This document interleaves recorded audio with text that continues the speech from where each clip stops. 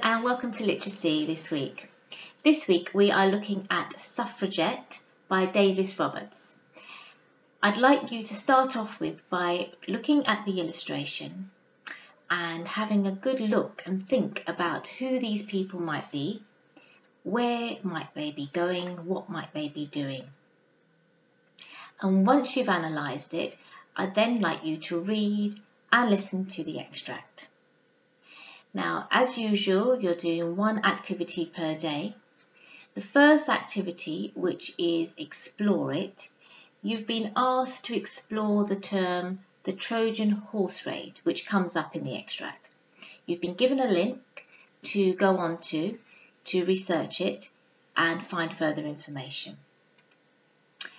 When you get on to Friday's activity, you are being asked to really have a good think about what current issues in your life, our world, are happening that you feel strongly about and to write about it. So it could be, for example, climate change. It could be the various inequalities that we have in our society.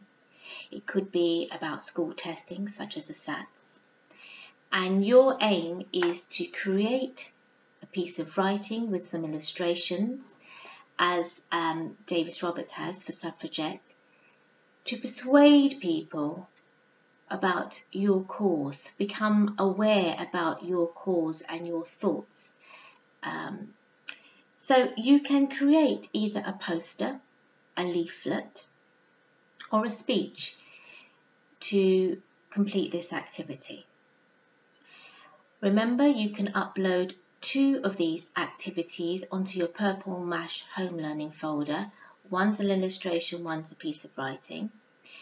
And um, if there's anything that you're not sure about, remember to email one of your class teachers about it and we will help you as best as we can. Okay? Have a fantastic week and I look forward to seeing your work. Bye for now. Last Man Out.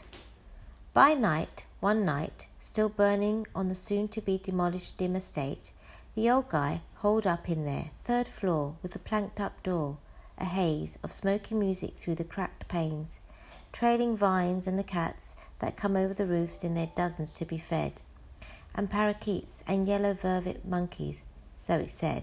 But then again, they say that he's a poet. Who knows if a word of this is true?